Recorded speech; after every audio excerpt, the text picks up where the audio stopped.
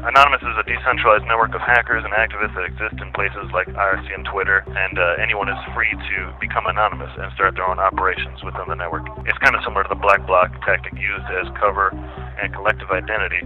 I'm doing 10 years in defense for computer hacking charges uh, related to my involvement in Anonymous. I was hacking police departments, military contractors, uh, defacing their websites, releasing their emails and databases to the public.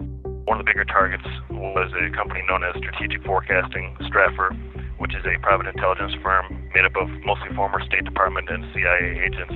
We took down the websites, we went on donation sprees with all their clients' credit cards, and gave their email archives to WikiLeaks. And WikiLeaks published them showed that they had been spying on activist groups on behalf of corporations like Dow Chemical. Now, as far as Anonymous or hacktivists in general playing a role in revolutionary movements, Anonymous was very active during Occupy Wall Street and the Arab Spring. In general, an overall revolutionary strategy benefits from a diversity of tactics, multiple attacks converging from all angles, including street protests, smashed windows, to hacked websites. So, Anonymous, you know, revealing scandalous personal information on individuals associated with a company that is the current target of protest, timed well, it very effective.